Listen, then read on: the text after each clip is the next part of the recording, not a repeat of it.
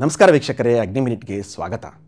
ಸಿನಿಮಾಗಳಲ್ಲಿ ಸನ್ನಿವೇಶಕ್ಕೆ ತಕ್ಕಂತೆ ಪಾತ್ರಗಳನ್ನು ನಿರ್ವಹಿಸಬೇಕಾಗುತ್ತದೆ ಎಂಬುದು ಎಲ್ಲರಿಗೂ ತಿಳಿದಿರುವ ಸಂಗತಿ.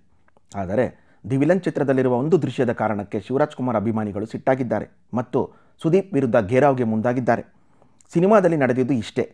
ಸಿನಿಮಾದ ಒಂದು ಸನ್ನಿವೇಶದಲ್ಲಿ ಸುದೀಪ್, ಶಿವರಾಜ್ ಕುಮಾರ್ಗೆ ಒದೆಯುವ ದೃಶ್ಯವಿದೆ. ಇಷ್ಟಕ್ಕೆ ಇದು ರದ್ದಾಂತವಾಗಿ ಶಿವರಾಜ್ ಕುಮಾರ್ ಅಭಿಮಾನಿಗಳು ರೊಚ್ಚಿಗೆದ್ದಿದ್ದಾರೆ. ಶಿವರಾಜ್ ಕುಮಾರ್ ಅವರ ಒಳ್ಳೆಯತನವನ್ನು ಬಳಸಿಕೊಂಡು ಚಿತ್ರೀಕರಣ ಮಾಡಲಾಗಿದೆ ಎಂಬುದು ಅಭಿಮಾನಿಗಳ ಆರೋಪವಾಗಿದೆ. ಅದಕ್ಕೆ ಸುದೀಪ್, ಅಭಿಮಾನಿಗಳು ಸಿನಿಮಾಗಳನ್ನು ಸಿನಿಮಾ ರೀತಿ ಮಾತ್ರ ನೋಡಬೇಕು ಎಂದು ಹೇಳಿದ್ದಾರೆ.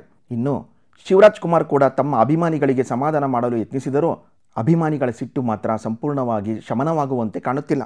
ಮೀಟು ಕುರಿತ ಸಂಗತಿಗಳು ಸಾಕಷ್ಟು ಚರ್ಚೆಗೆ ಗ್ರಾಸವಾಗುತ್ತಿರುವ ಹೊತ್ತಿನಲ್ಲಿ ನಟಿ ರಾಗಿಣಿ ದ್ವಿವೇದಿ ಮೀಟು ಒಳ್ಳೆಯ ಅಭಿಯಾನ, ದೌರ್ಜನ್ಯಕ್ಕೆ ಒಳಗಾಗುವ ಎಲ್ಲ ಮಹಿಳೆಯರು ಧ್ವನಿ ಎತ್ತಬೇಕು, ಆದರೆ ಇದು ಪಬ್ಲಿಸಿಟಿ ಗಿಮಿಕ್ ಆಗಬಾರದು ಎಂದು ಪರೋಕ್ಷವಾಗಿ ಮೀಟು ದುರ್ಬಳಕೆಯ ಸಂಗತಿಯನ್ನು ಪ್ರಸ್ತಾಪಿಸಿದ್ದಾರೆ.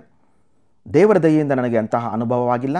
ಒತ್ತಡ ಸೇರಿದಂತೆ ಹಲವು ಕಾರಣಗಳಿಗೆ ಹೀಗಾಗುತ್ತದೆ. ಪುರುಷರಾಗಲಿ, ಮಹಿಳೆಯರಾಗಲಿ ಭೇದ ಭಾವವಿಲ್ಲದೆ ಎಲ್ಲರೂ ಒಟ್ಟಾಗಿ ಲೈಂಗಿಕ ಶೋಷಣೆಯ ವಿರುದ್ಧ ನಿಲ್ಲಬೇಕು ಎಂದಿದ್ದಾರೆ ರಾಗಿಣಿ. ಇನ್ನು ಮಾಡೆಲಿಂಗ್ ಜಗತ್ತಿನಿಂದ ಬಾಲಿವುಡ್ಗೆ ಪ್ರವೇಶ ಪಡೆದು ಹೆಸರು ಗಳಿಸಿರುವ ಬ್ರೂನಾ ಅಬ್ದುಲ್ಲಾ, ಮೀಟು ಬಗ್ಗೆ ನನಗೇನು ಕೇಳಲೇಬೇಡಿ, ಅದರ ಬಗ್ಗೆ ನನಗೇನು ಗೊತ್ತಿಲ್ಲ ಎಂದು ಹೇಳಿರುವುದು ಸಿನಿಮಾ ಅಭಿಮಾನಿಗಳ ಅಚ್ಚರಿಗೆ ಕಾರಣವಾಗಿದೆ.